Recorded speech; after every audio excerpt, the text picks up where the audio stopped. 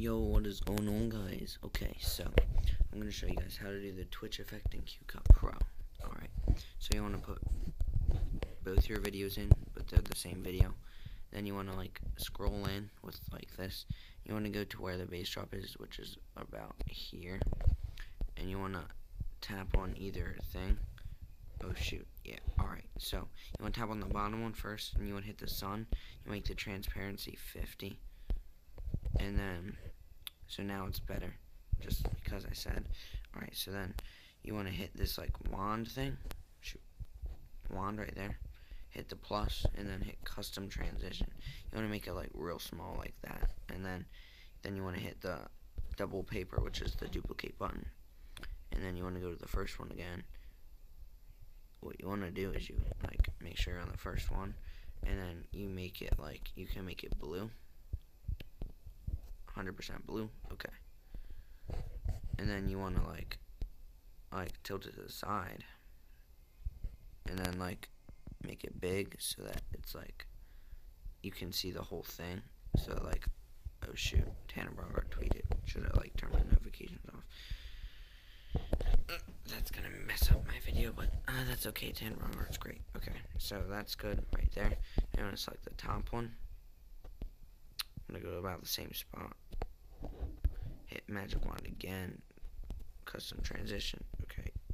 You want to pull this over so they're like aligned which that looks pretty good. Okay. Duplicate.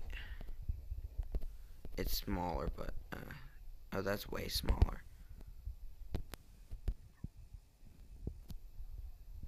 That's too small. I don't really know what just happened at the timeline. That's okay though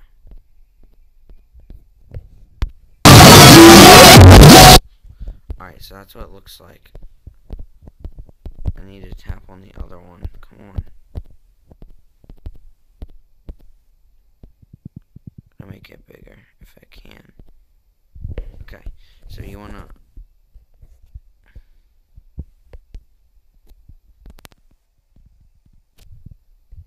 you wanna do that and then you wanna like make the color red 100 so then, now look.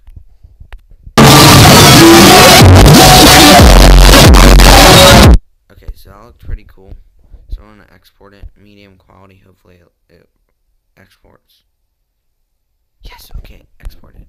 Alright, so now I'm going to make a new, so you go back, create a new movie, put in this video,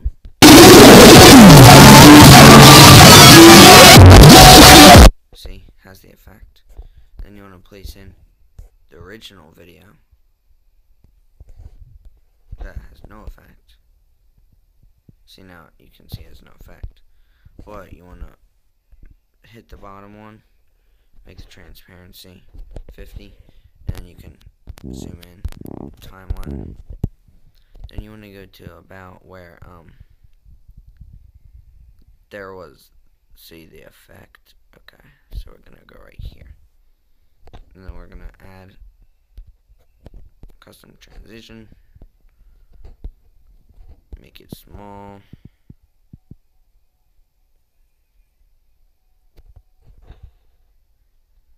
And copy.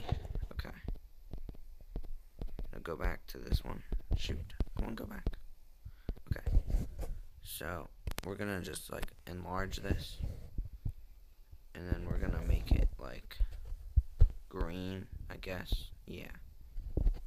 Not red. Okay, make it green. So now shoot a second. You can't really see any of the red.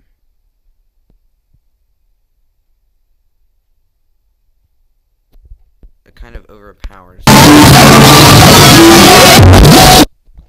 kind of the green kind of overpowers the red, but I mean, if that's okay with you, then I don't really care. But even though you can still kind of see some red.